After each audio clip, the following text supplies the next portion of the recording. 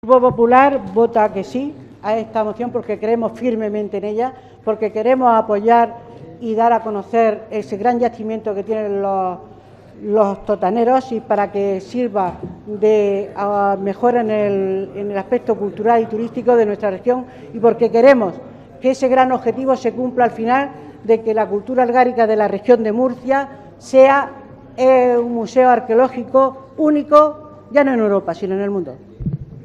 Gracias, señora Glino.